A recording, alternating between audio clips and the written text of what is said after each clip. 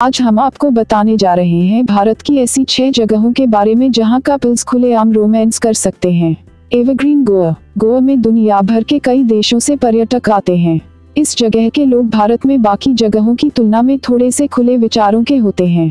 बस आपको यहाँ के लोकल्स की नज़रों से बचकर रहना होगा। यहाँ फैले बीचेस के पास रोमांस करते हुए अगर आपको कोई देख भी ले तो शायद वो अपने काम से काम रखेगा।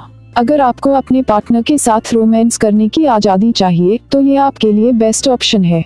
थ्रियुंड हिमाचल प्रदेश हिमाचल के मैक्लॉडगंज से तीन घंटे की चढ़ाई पर बसा है थ्रियुंड सालों साल यहाँ आने वाले टूरिस्ट्स की संख्या बढ़ती जा रही है।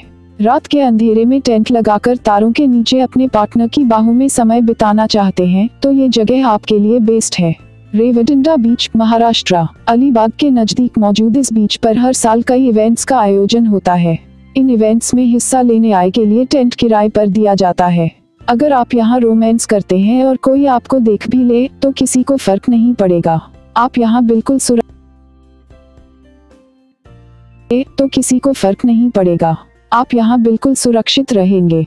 दायरा बुगयाल, उत्तराखंड। उत्तराखंड की पहाड़ियों पर बसे दायरा बुगयाल की खूबसूरती पर्यटकों को अपनी तरफ़ खींचती है।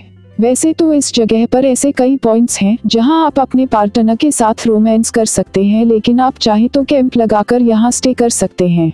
बेहतर होगा कि आप अपने साथ एक गाइड रखें और उसे कैंप से थोड़ा दूर रहने को कहें। फिर तो शायद इससे रोमांटिक डेट आपके लिए कोई नहीं होगी। कुरेल बीच, कर्नाटक, ओम बीच के नज़दीक बसे इस बीच पर काफ़ी कम लोग ही आते हैं। यहाँ का नज़ारा काफ़ी शांत और मनमोहक है। ऐसे नज़ारे के बीच अपने पार्टनर के साथ समय बिताना किसे अच्छा नहीं लगेगा। तो देर किस बात की अभी चले आए अपने पार्टनर के साथ यहाँ। डीटीएन न्यूज़ की रिपोर्ट।